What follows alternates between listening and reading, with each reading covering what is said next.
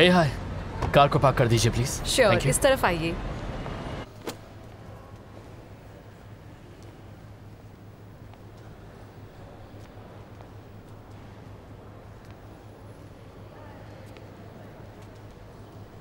हनी हम घर आ गए। फिर भी तुम अपसेट क्यों? तुम्हें मज़ा नहीं है आधा सामान तो पैक ही नहीं किया और हम रास्ता भी भूल गए। क्या तुम थोड़े भरोसेमंद बन सकते हो? लेकिन आ, अगर हम भटकते नहीं और रास्ते में फंसते नहीं तो हम उन चरवाहों से कैसे मिल पाते? और उनके साथ ये मज़ेदार सफ़र कैसे करते? एक बात समझनी होगी कि लोकल लोगों के साथ रहने का मौका हमें यूँ ही बार बार नहीं मिलता हनी। देखो उन्होंने तुम्हें हाथ से बना हुआ ब्रेसलेट भी दिया है। खूबसूरत है ना? बिल्कुल तुम्हारी तरह। अरे कम से कम अब तो हंस दो।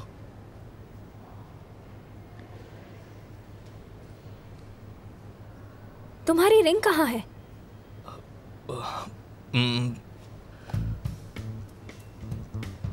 एक्चुअली शुरुआत से ही तुम्हें ये ब्रेसलेट पसंद था और वो तुम्हें ये देना नहीं चाहते थे। तो आने से एक रात पहले मैंने उनके साथ ड्रिंक किया था और वो उसे बदले में देने के लिए मान गए। अ, गुस्सा मत होना। एक्चुअली कल सुबह ही मैं एक नई रिंग खरीदने के बारे में सोच रहा था एंड आई प्रॉमिस कि वो पहले जैसी ही होगी।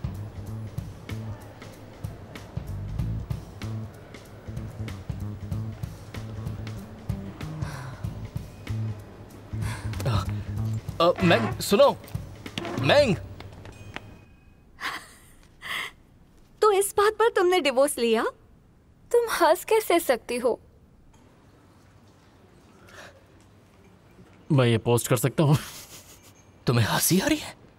तुम हंस कैसे सकते हो? तुम्हें याद है ना किलान को पाने के लिए मैंने तुम्हारी कितनी मदद की है? तुम्हारे अंकल का भी डिवोर्स हुआ है। तुम हंस कैसे सकते हो? जब उसने डिवोर्स मांगा तो तुमने उसे मना क्यों नहीं किया? वैसे भी शादी दो लोगों का रिश्ता होता है। मुझे भी गुस्सा आता है ओके? मैं हमेशा गिड़गिड़ाया और माफ़ी मांगी लेकिन उसकी बातें मुझे समझ नहीं आती। तो मैंने भी जाने दिया जैसे कि मुझे फ़र्क पड़ता है। जितना मैं तुम्हें जानता हूँ कुछ दिनों के बाद तुम फिर उससे शादी के लिए भीख मांगोगे। शर्त लगा लो दो दिन में तुम दोनों फिर से शादी कर लोगे। बिल्कुल, नहीं।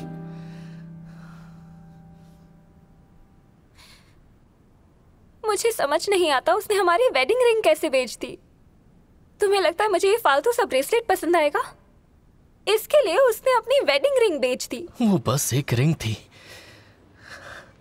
मैं दूसरी भी खरीद सकता था। इस इस वजह से कौन डिवोर्स देता है? हम गुस्से में तो कुछ भी बोल देते हैं ना। जब मैंने डिवोर्स कहा तो वो बिना कुछ बोले ही मान गया।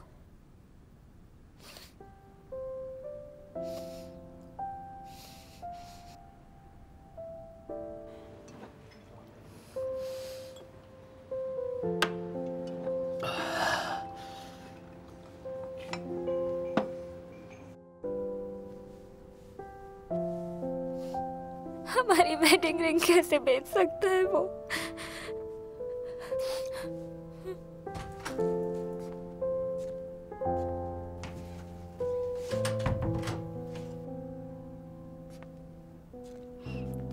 कैलान मॉम। मैंग कैसी है? वो सो गई है। उसने अपने मम्मी पापा को डिवोर्स के बारे में नहीं बताया है। शायद वो वापस जाना चाहती है। ओह। क्या तुम यूहाओ के पास इनके बारे में बात करने जा रही हो? हम्म।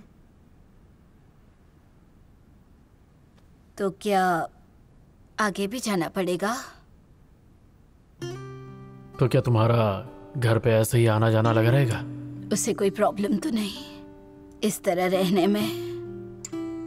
अगर उसे प्रॉब्लम होगी तो मैं उसे छोड़ दूँगी।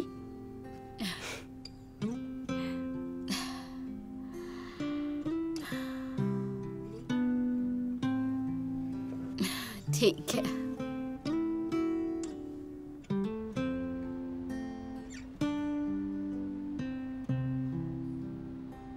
मार्केटिंग डिपार्टमेंट का जो भी मसला है उसके लिए वीपी सू से बात करो।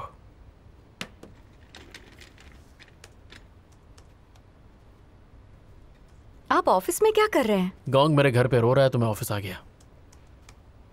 हम्म। अभी दोनों एक दूसरे से बहुत गुस्सा हैं। मैंग ने डिवोर्स के बारे में अपने मॉम डैड को नहीं बताया। आ, क्या गोंग ने अपनी मॉम को अपने डिवोर्स के बारे में बताया है? नहीं। थोड़ा टाइम निकाल कर दोनों से बात करते हैं। शायद दोनों एक दूसरे को माफ़ कर देंगे अगर वो मिलकर बात करें। हाँ।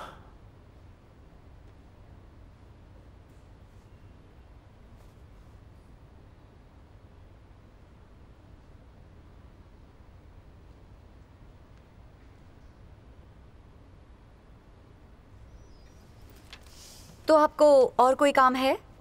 अगर कोई काम नहीं है तो मैं अपने घर जा रही हूँ। तुम्हारी मॉम बिल्कुल भी खुश नहीं है है ना? मेरी मॉम? हाँ तुम्हारी मॉम बिल्कुल भी खुश नहीं है।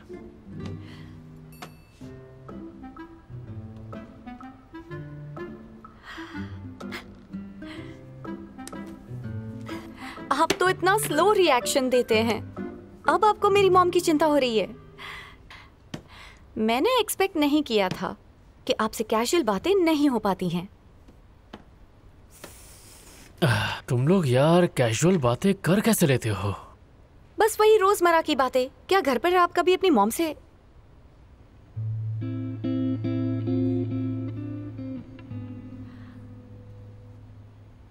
आई एम सॉरी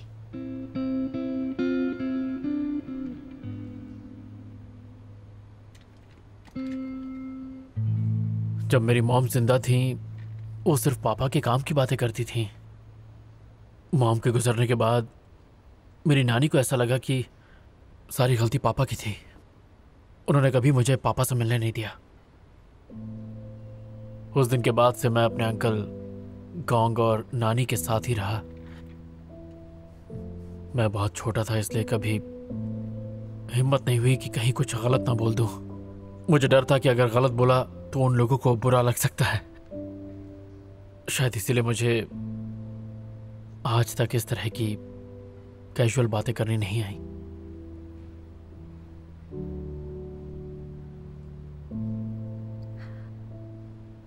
तो क्या तब से आपने अपने पापा को नहीं देखा है? एक बार स्कूल की शुरुआत में वो मुझे ढूंढते हुए स्कूल के गेट पे आए थे। उस दिन मेरा बर्थडे था। वो मेरे लिए जूते लेके आए थे। लेकिन नानी ने वो फेंक दिए। वो आखिरी बार था जब मैंने उन्हें देखा था। तो आप अपने पापा से अपनी मॉम की वजह से इतनी नफरत करते हैं? मैं उनसे नफरत नहीं करता। तो फिर आप उनसे मिलते क्यों नहीं? अगर मैं उनसे मिलता तो क्या कहता?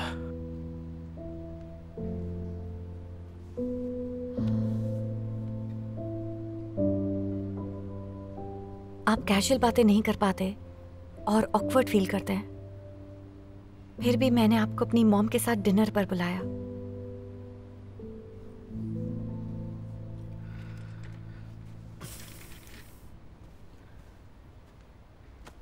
देखो, मैं सब सीख लूँगा।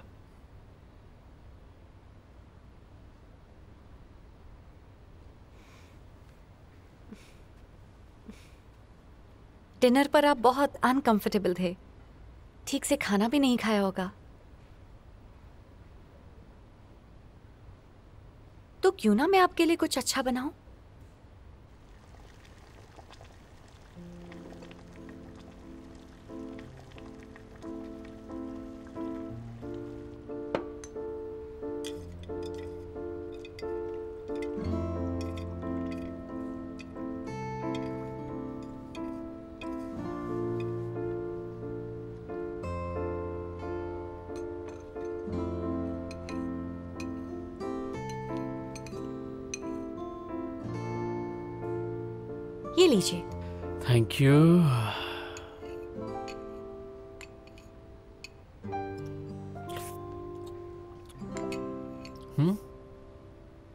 ये तो मीठा है। हाँ। पर ये मीठा क्यों है? क्योंकि ये मीठा ही होता है। क्यों कभी मीठा वाला नहीं खाया? मैंने सॉफ्ट बीन कर्ड हमेशा सॉल्टी या स्पाइसी खाया है। स्पाइसी चोंगक्विंग के लोग तो स्पाइसी खाते हैं। उसका ये मतलब नहीं कि सब कुछ स्पाइसी हो। क्या आप dark brown sugar sticky rice को स्पाइसी बनाएँगे? बात तो सही है। पर सॉफ्ट बीन कर्ड कोई डिजर्ट थोड़ी है? लेकिन लोग मीठा सॉफ्ट बीन कर्ड भी बनाते हैं। लेकिन जिसने इतना अच्छा फ़ूड ऐप बनाया है उसे ये नहीं पता। जानना और उसे मानना दो अलग अलग बातें हैं मैडम। आपको नहीं लगता? हमारी इन बातों का तो कोई मतलब नहीं है लेकिन मज़ेदार हैं। मज़ेदार हैं। मेरे पापा हमेशा कहते थे, स्वादिष्ट खाना दो लोगों की चुप्पी तुड़वा सकता है। वो कहते थे, फ़र्क नहीं पड़ता कि नॉर्थ और साउथ का खाना बहुत अलग है, लेकिन जब लोग मिलते हैं तो सबसे पहले यही पूछते हैं, आपने खाना खाया? खाना हमारे संस्कृति और जीवन के अनुभव इन सब के बारे में बताता है। ये लोगों को जानने का अच्छा तरीका है। अगर आप क्यूरियस हैं और सच में केयर करते हैं तो कैशुअल बातें इतनी भी मुश्किल नहीं है। हम्म?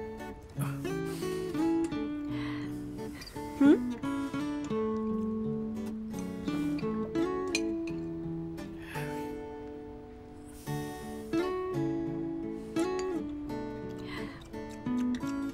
मीठा बीन कर्ड टेस्टी है? मुझे अभी भी अजीब लग रहा है।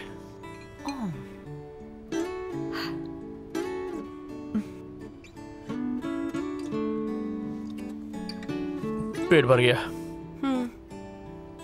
आज रात ऑफ़िस में रुक के काम करते हैं।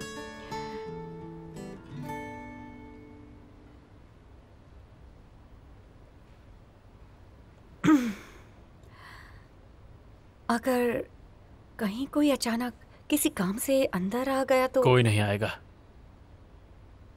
चाहेगा तो भी नहीं। हाँ? इलेक्ट्रॉनिक लॉक ऑफ़ कर दिया।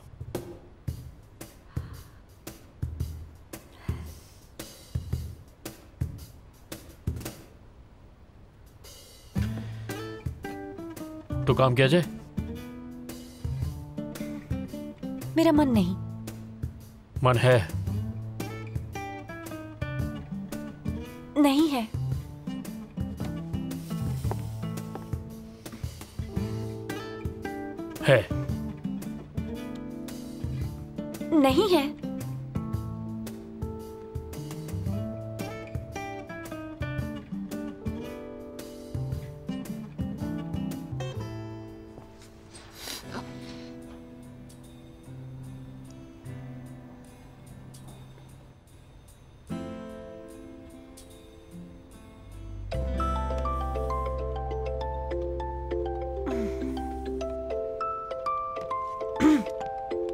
हेलो प्रेसिडेंट साहब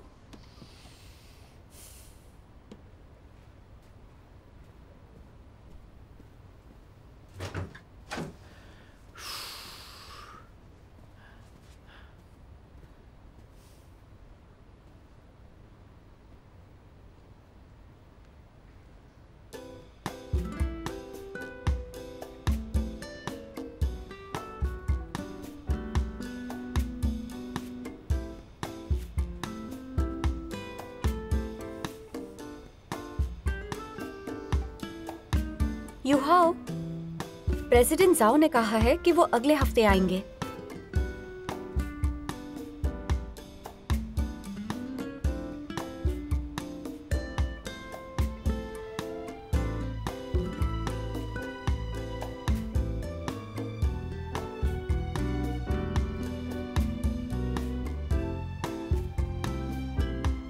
ओवर टाइम करते हैं।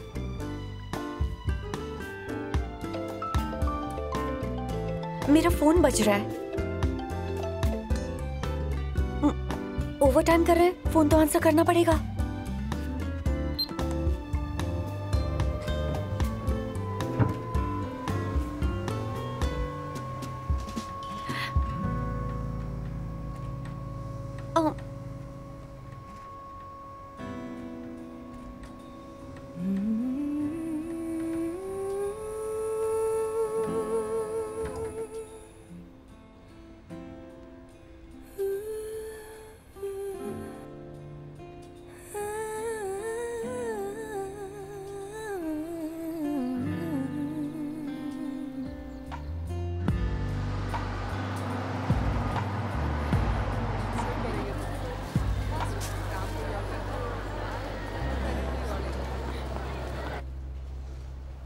डायरेक्टर हान हनीमून से आ गई।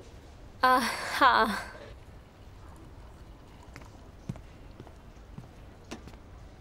अरे तुम्हें डार्क सर्कल्स आ गए। काम का इतना प्रेशर है क्या तुम पर? हाँ कल रात ये कंपनी के डॉक्यूमेंट्स लेने आया था लेकिन दरवाजे के अंदर ही बंद हो गया। कल रात की बात मत करो। क्या हुआ बताओ? ऐसी कोई बात नहीं है।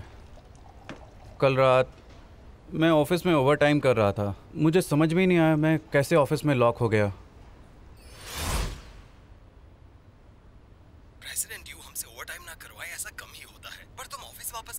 मेरा कुछ काम बाकी था। मुझे डर है अगर काम पूरा नहीं हुआ तो कल डांट पड़ सकती है। ठीक है कल मिलते हैं। ओके ठीक है।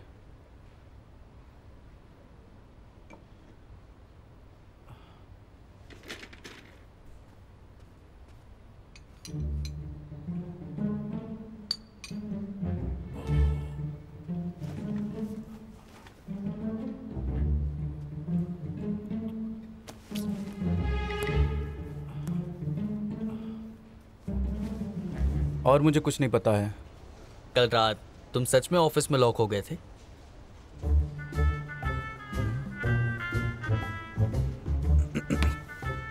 अरे सुनो किसी ने मेरी गोजी वेरिस देखी क्या?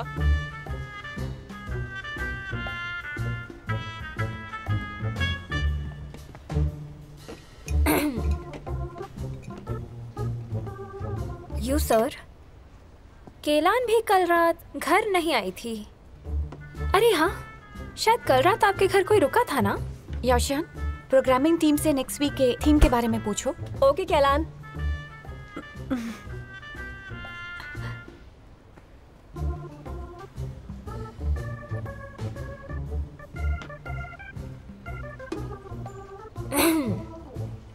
केलान मैम कल रात मैंने कमर्शियल शूट का डिटेल प्लान बनाया है।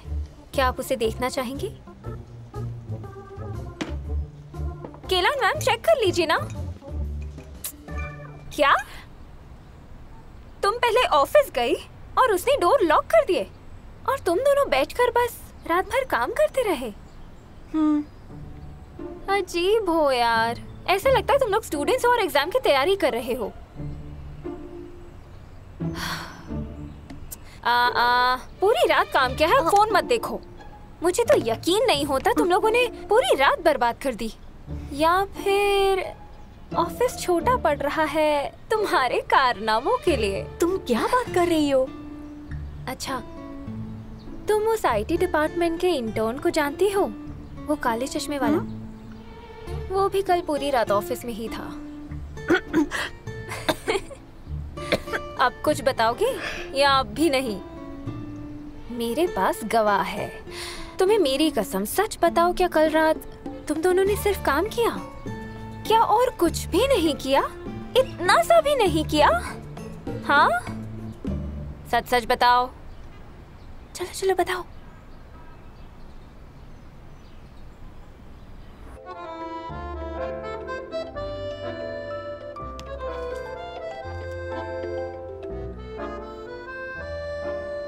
मैं अभी फ्री हूँ। आपको मार्केटिंग डिपार्टमेंट की रिपोर्ट देनी है। आप सुन रही हैं? डायरेक्टर सू मुझे दस मिनट दीजिए। डायरेक्टर सू अगर लेट हो गया तो कभी और डिस्कस कर सकते हैं। इट्स ओके okay, कोई बात नहीं मैं सुन रही हूँ। बताइए। हाँ। डायरेक्टर सू एक मिनट होल्ड कीजिए।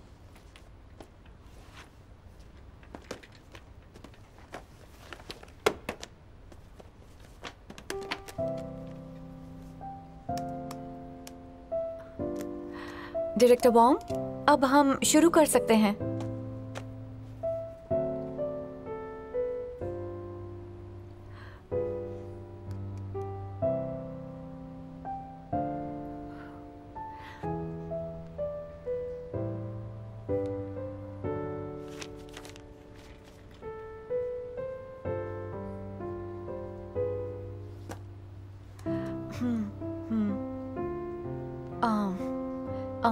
अगर कुछ चेंजेस होंगे तो मैं याओशियान को बोल दूँगी।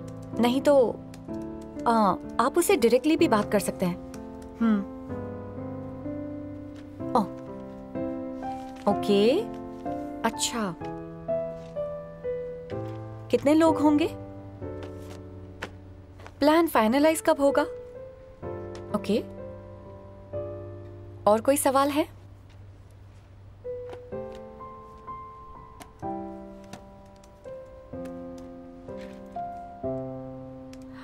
आ, वो प्रॉब्लम नहीं है। हाँ।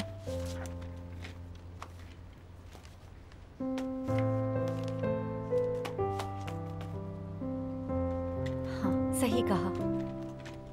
ओके अगर और कुछ पूछना हो तो मुझे कभी भी कॉल कर लेना।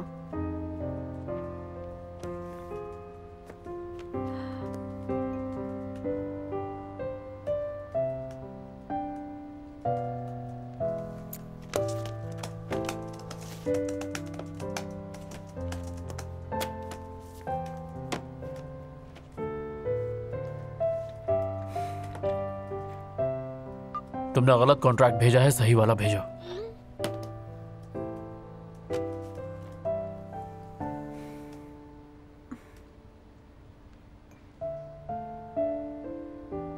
मेरे लिए कॉफ़ी बना दोगी?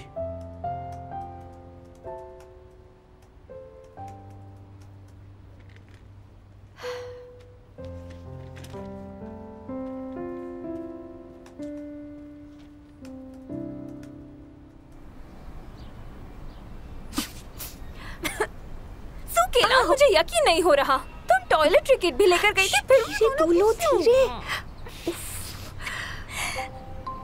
अरे न्यू मैसेज जल्दी देखो। मॉम के साथ डिनर के बाद मेरे अपार्टमेंट में आ जाना। बाय वाह तो डिनर के बाद अपार्टमेंट में आना। रिप्लाई दो। जल्दी मुझे देखना है। क्या आप मुझे अपनी असिस्टेंट बनाकर अपने लिए कॉफ़ी बनवाएँगे? तो क्या तुम उससे नाराज़ हो? मीटिंग तो पहले तुमने शुरू की थी ना? अब मुझसे कैसे ब्लेम कर रही हो? मैंने कंपनी के फ़ायदे के लिए मीटिंग की। मुझे प्रमोट करके वीपी बना दिया। इस बात से वोंग बहुत नाराज़ है, इसलिए उन्होंने जानबूझकर लेट कॉल किया था। जवाब नहीं देती तो मुश्किलें और बढ़ जाती। तो तुम उसे बोल देती ना कि वो तुम्हारी लीड फॉलो करे? मैं वीपी बनने के लिए अभी तक मानी नहीं हूँ। क्या? तो तुम इसीलिए परेशान हो मुझे लगा कुछ इम्पोर्टेंट होगा। अच्छा बहुत लोग बस प्रमोशन के सपने देख सकते हैं और तुम हो कि शो ऑफ़ कर रही हो। नहीं तुम्हें मेरी फैमिली की सिचुएशन तो पता ही है। पर वो मुझे वीपी बनाना ही चाहते हैं। अगर मैं मना कर दूँ तो वो गुस्सा हो जाएँगे। मुझे लगता है वो इसीलिए गुस्सा करता है क्योंकि वो तुम्हारी केयर करता है। देखो ज़्यादातर मर्द यही चाहेंगे कि उनकी पत्नियाँ पूरे टाइम घर पर ही रहे लेकिन उसने तुम्हें प्रमोट किया क्योंकि वो तुम्हारे साथ ज़्यादा वक्त बिताना चाहता है। और सबसे इम्पोर्टेंट है कि वो तुम पर भरोसा करता है वैल्यू करता है। मुझे पता है लेकिन मेरी मॉम केलान शायद ये सुनने में अच्छा नहीं लगेगा लेकिन अगर देखा जाए तो तुम्हारी बाकी की ज़िंदगी में आखिरी दम तक तुम्हारा साथ कौन देगा? जब से तुम्हारी फैमिली के साथ वो हादसा हुआ है, तुम्हें माँ के अलावा और कुछ नहीं दिखता। ना ज़िंदगी, ना रिलेशनशिप्स तुम्हारा अपना कुछ है ही नहीं। हाँ ये सच है कि ये डिसीज़न लेने से पहले यू को तुमसे पूछना चाहिए था। लेकिन सोच कर देखो ये जॉब तुम्हारे लिए इसलिए भी इम्पोर्टेंट है क्योंकि ये तुम्हारी लाइफ को एक दिशा देती है।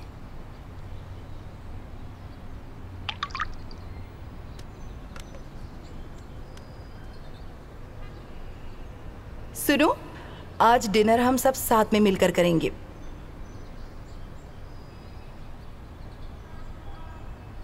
अभी भी उससे गुस्सा हो? वैसे मेरे घर और कितने दिन रहोगी? क्या?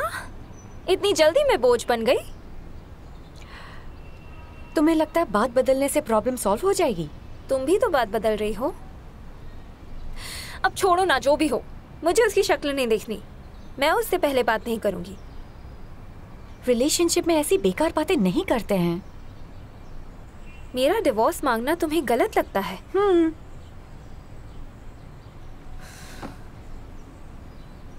तो तुम बताओ अगर तुम वहाँ होती, क्या तुम अपनी वेडिंग रिंग किसी बेकार चीज़ के लिए बेच देती?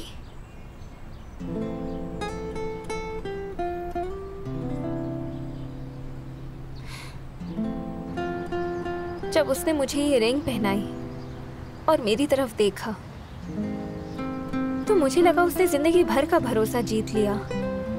और जब मैंने उसे रिंग पहनाई, मेरे लिए वो रिंग एक वादे और भरोसे की तरह थी कि मैं उसके साथ पूरी ज़िंदगी रहूँगी। और दूसरी तरफ़ वो बिना सोचे मेरी रिंग बेच आया और उसको पता ही नहीं कि मैं गुस्सा क्यों हूँ। मेरा दिल टूट गया, क्योंकि उसे लगता है मैं बेवजह नाराज़ हूँ।